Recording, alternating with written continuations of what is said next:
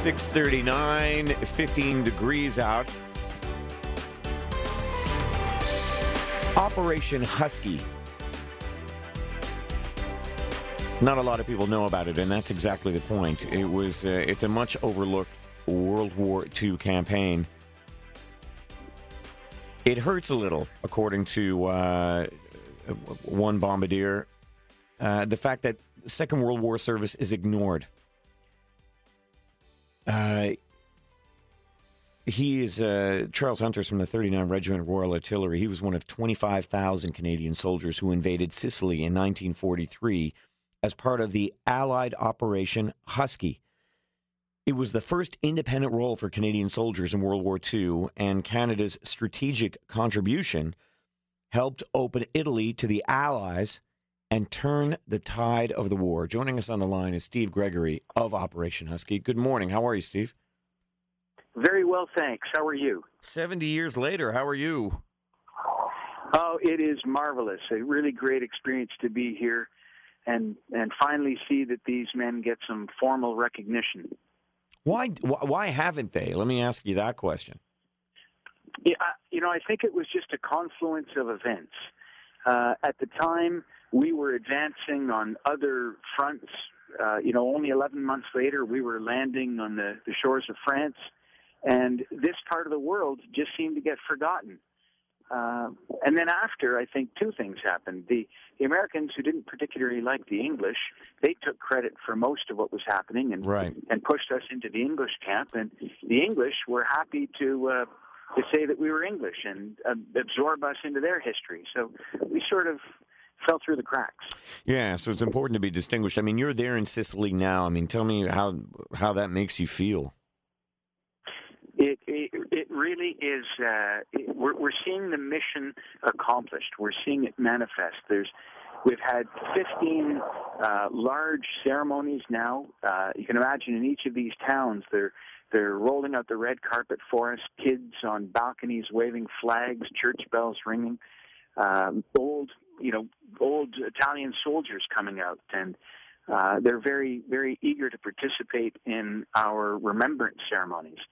Uh, so it's been it's been a very emotional experience, to tell you the truth. All of us who are marching are are uh, brought to tears near daily. I mean, this this has become a, a, personal mission for you know a number of people. I know, uh, obviously yourself, to make sure that the, the veterans of of this campaign are recognized. Uh.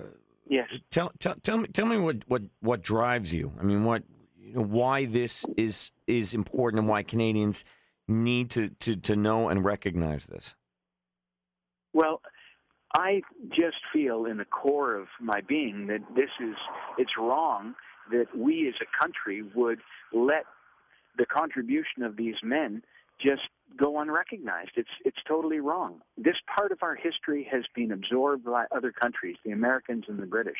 Even in Sicily, we are are, are uh, frequently called Americani, and we are eager to point out the difference.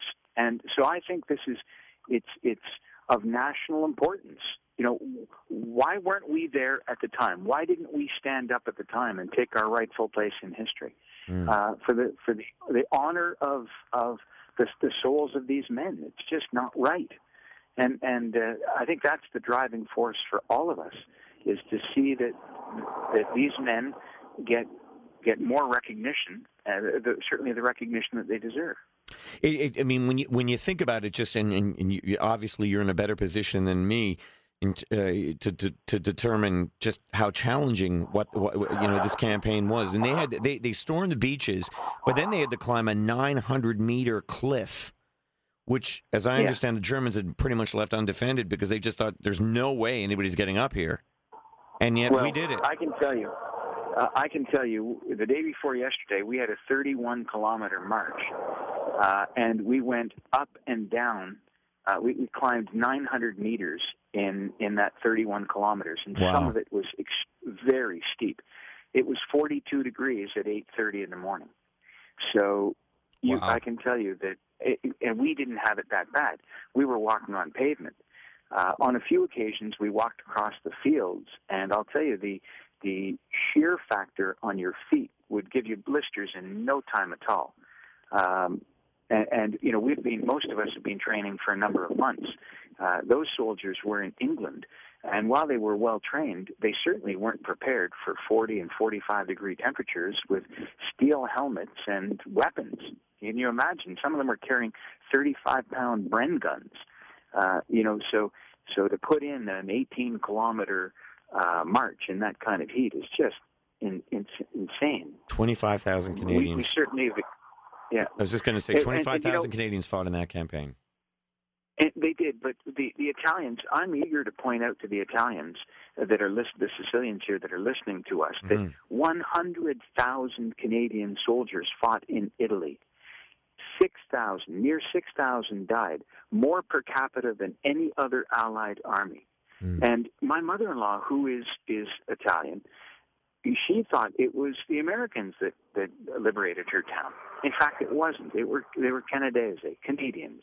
And so I'm very eager to point out to our Italian and Sicilian uh, friends that you know what they weren't alone. There were seven divisions that landed.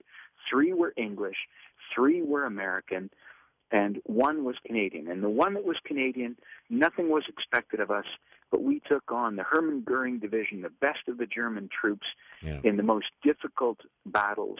And we punched way above our weight, and that deserves some recognition. Steve, indeed it does. And thank you for drawing attention to the Canadese. Appreciate it. Oh, thank you. Good to talk to you. That was Steve Gregory of Operation Husky. We were talking to him. He is in Sicily.